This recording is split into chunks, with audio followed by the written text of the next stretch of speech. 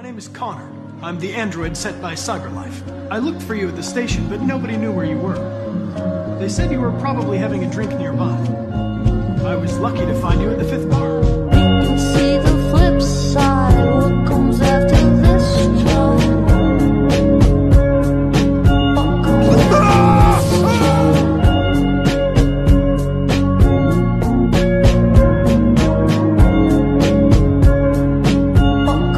Comes You have a after dog, this right?